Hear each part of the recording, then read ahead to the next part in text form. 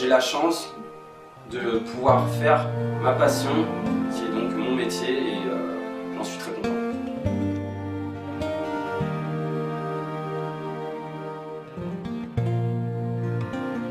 Je m'appelle Boardi Cédric, je suis assistant technique, disons soigneur, et euh, je suis un passionné du vélo depuis ma naissance. Aujourd'hui, je suis fier de faire partie euh, de cette équipe.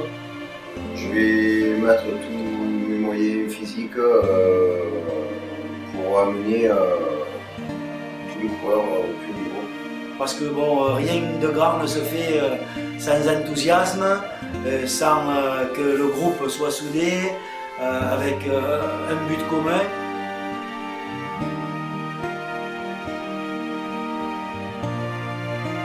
Ce qui me plaît par rapport à ce métier-là, c'est de, retranscrire ce que j'ai vécu au milieu professionnel pendant 14 ans et de donner le maximum de conseils aux jeunes euh, qui arrivent dans ce milieu, qui est une passion avant tout, mais euh, qui au fil du temps euh, est un métier.